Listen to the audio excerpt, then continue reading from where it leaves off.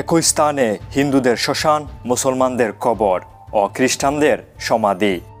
এখানে তিন সম্প্রদায়ের মরদেহ নিজ নিজ ধর্মীয় রীতি অনুযায়ী দাফন কিংবা সৎকার করা হয়ে থাকে। এই এলাকায় হিন্দু প্রায় আট হাজার, মুসলমান প্রায় সাড়ে চার হাজার এবং খ্রিস্টান প্রায় তিন হাজার। তবে ধর্ম নিয়ে এখানে কোনো হানাহানি ও মতবিরোধ নেই। পারস্পরিক সহযোগিতায় ধর্মীয় আচার পালন করে আসছেন এখানকার ধর্মপ্রাণ মানুষ। বাংলাদেশে সাম্প্রদায়িক সম্প্রীতির ইতিহাস অনেক সমৃদ্ধ, যার অনেক নিদর্শন ছড়িয়ে ছিটিয়ে আছে দেশের নানা প্রান্তে।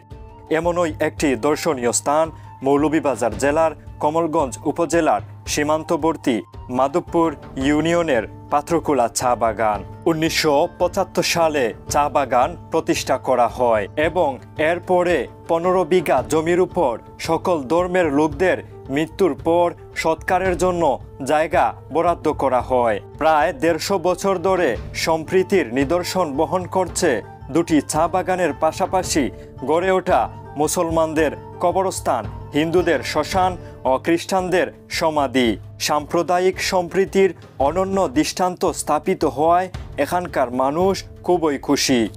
সম্প্রীতির এই স্থানটি দেখতে আজও বিভিন্ন অঞ্চলের দর্শনার্থীরা ছুটে আসেন এখানে।